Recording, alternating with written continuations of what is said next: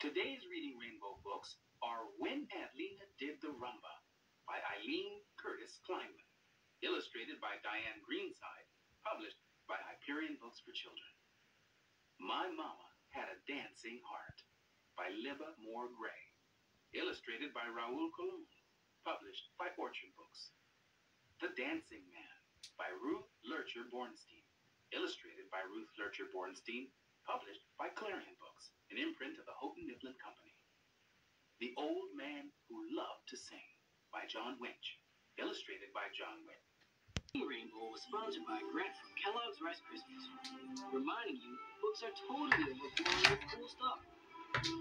Get in on it. Wake up to the amazing world of reading.